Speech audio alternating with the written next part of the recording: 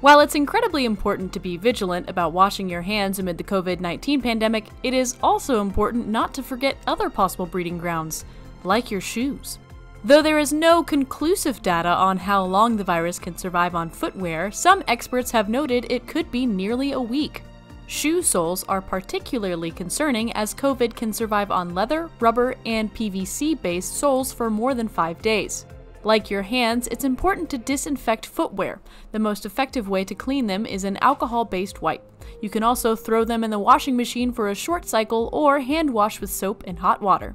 You may also want to limit the amount of shoes you wear in public. Dedicate one pair of shoes to go out in and one clean pair to change into before entering the house. If you have a garage or entryway, leave your clean pair there to not track them through the house.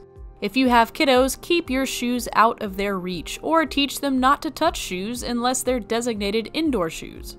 The good news is you're being precautious. While the virus can live on some surfaces, there's no definitive proof that it can come into your house on your shoes.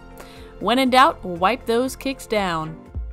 Thanks for watching. If you liked the video, make sure to like and subscribe and hit that bell for all notifications from radio.com. While you're at it, why don't you check out some of our other great videos?